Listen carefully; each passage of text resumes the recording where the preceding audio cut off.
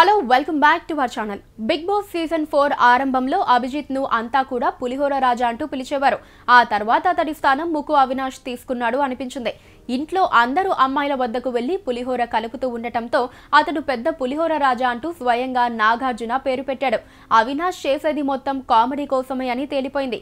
అవినాష్ తర్వాత ఇప్పుడు అఖిల్ పులిహోర రాజా అనిపించుకుంటున్నాడు.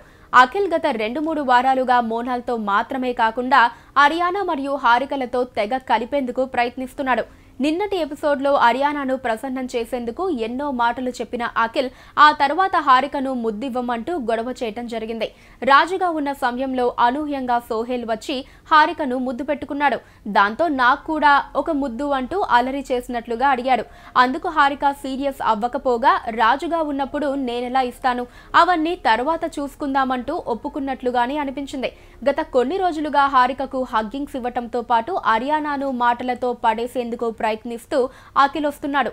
సోహేల్ మరియు అఖిల్ మాట్లాడుకుంటూ ఉన్న సమయంలో హారిక పిలిచింది వెంటనే సోహెల్ను వదిలేసి హారిక వద్దకు వెళ్ళి ఆమె తినేది తినేశాడు. అఖిల్ ఈ వారం నామినేషన్లో లేకపోవడంతో పూర్తి స్వేచ్ఛగా ఆడుకుంటున్నాడు. ఇతరులు పడుతున్న టెన్షన్ను ఎంజాయ్ చేస్తూ తన పులిహోర పనులు చేస్తూనే ఉన్నాడు. అఖిల్ సీజన్ ఆరంభంలో చాలా రిజర్వ్డ్గా అనిపించాడు. కానీ ఇప్పుడు అతని తీరు అనూహ్యంగా మారింది. మోనాల్తో మాత్రమే అనుకుంటే ఇప్పుడు అందరితో కూడా ఆయన వ్యవహారం సాగుతోంది. ఈ వ్యవహారాలు చివరి వారంలో ఎలాంటి ఫలితాన్ని ఇస్తాయో చూడాలి.